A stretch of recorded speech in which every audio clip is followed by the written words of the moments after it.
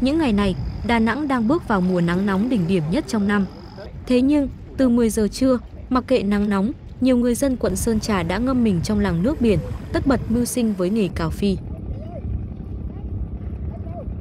Theo người dân địa phương, phi là nguồn lợi hải sản tự nhiên sinh sống quanh năm ở nước mặn và nước lợ. Phi giống con trai biển, gần giống trùng trục nước ngọt, vỏ mỏng, dài hơn 5 cm, sống trong bùn cát sâu hơn 30 cm. Để bắt được phi, nhiều người dân thường dùng cuốc, cào sắt, thậm chí còn mang cả thìa sới cơm dùng làm đồ nghề để sới đất. Những người cào phi thường chia thành nhiều nhóm, phụ nữ thì đi dọc bờ, đàn ông thì xuống nước, dùng cào để khai thác. Nước thì tiều xuống mới đi bắt được. Là một tháng đó là không cạn à, rằm với là mùng một. Hắn đơn giản thôi trời có cái cuốc với cái rổ bắt ờ, nước phía tiền xuống mà đi bắt được còn nước lớn thì thôi. Do điều kiện thời tiết và nguồn nước nên phi ở đây có kích thước nhỏ nhưng lại rất tươi và ngon. Phi thường dùng để nấu cháo, nấu canh hay chế biến những món xào.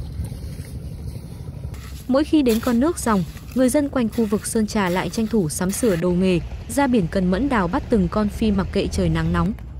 Ngoài những vật dụng cần thiết cho việc cào phi, người dân còn mang cả đồ ăn, thức uống để ăn trưa và nghỉ ngơi.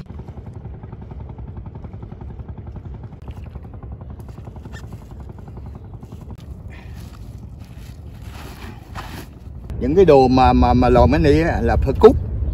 À, cút bằng cút. Cút ngán chừng đi thôi. Nhưng mà cái lưỡi hán á, mình đồ xuống. À, mình đồ xuống á, là bắt đầu mình mới mới giá kháng là quay là hán nằm ở dưới á, cỡ khoảng à, 40 phân. Ừ, hán nằm sau 40 phân. Thành ra cho nên mình phải có đồ nghề đầy đủ mình mới bắt hắn được. Ví dụ mùa hè là nước cạn mình mới đi lòm được. Còn mùa mùa, mùa đông á là nước đầy bờ. Không thể là để hắn cấu hắn làm với nó quanh năm. Sau khi khai thác, phi sẽ được ngâm nước và chia thành hai loại trước khi bán cho các đầu mối ở chợ.